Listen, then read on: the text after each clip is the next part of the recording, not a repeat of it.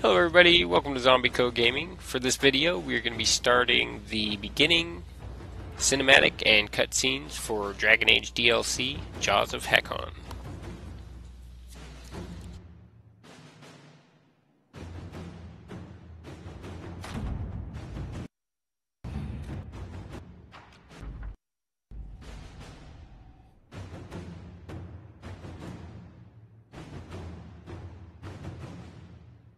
Okay, so as we see on the unlock table there, we've unlocked this new area, and we're going to go ahead and accept the report here.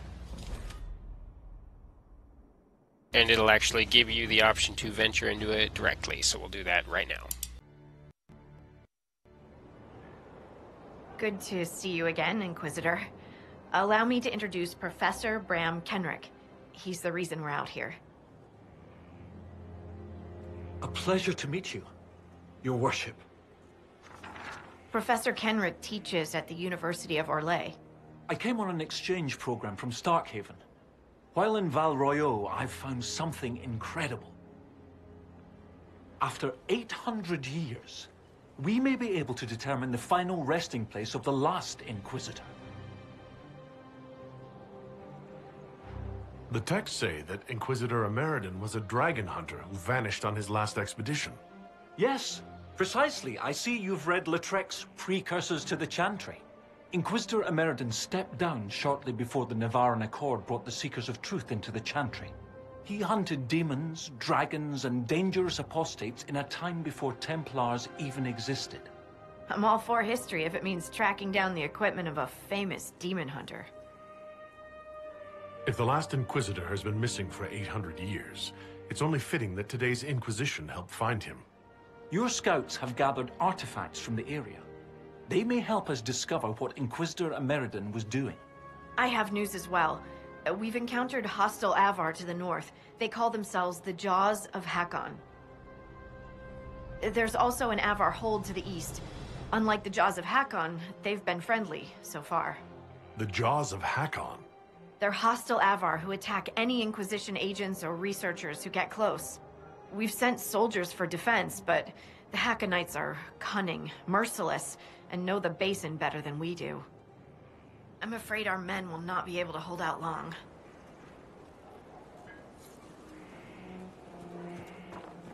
See you soon, Inquisitor. Inquisitor.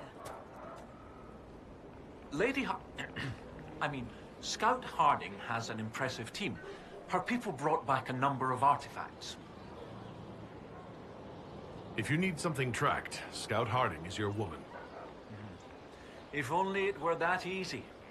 After 800 years, we can't just look for tracks. Barring enchantment, cloth and leather will have long since rotted away. Only metal and stone remain recognizable. Complicating this are recent pieces the Avar left behind, and of course ancient pieces dating back to Tevinter. Fortunately, thanks to some period-specific buckling, I've been able to track our last Inquisitor. You said there were pieces dating back to Tevinter? Yes. While it's rare to see Tevinter ruins so far south, the Imperium once had an outpost of some sort here. They might have built it as a, a ritual site. I'm not sure what military value it could have. In any event, it's muddled up the research slightly, but I've accounted for it. You lost me at buckling. You'd think that a buckle was a buckle. But ever since people started belting on weapons, they've been adding bits.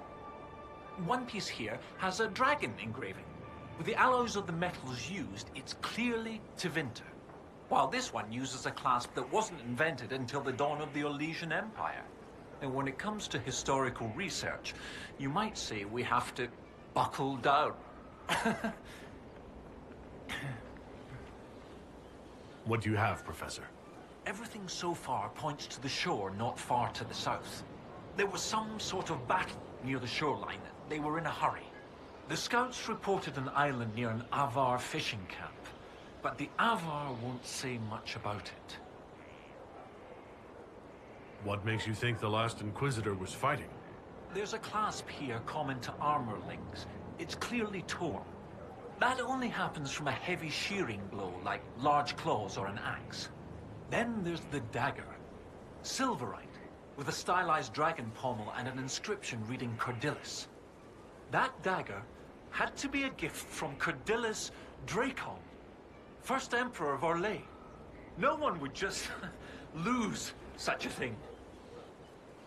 What can you tell me about the Avar fishing camp? Not much.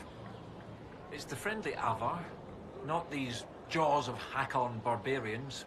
According to the scouts, they wouldn't say much about the area. Likely a local superstition. I'll find a way to that island and see if there's anything useful there. Excellent. I'll continue to study what's been found. With luck, we'll both find some answers. Also, one of my research assistants, Colette, was investigating an old structure to the north.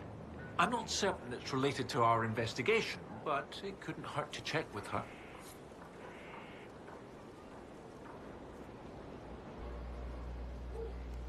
Alright everybody, that'll do it for the opening portion of the Jaws of Hakkon DLC. Make sure to check out the next part where we make our way to the island.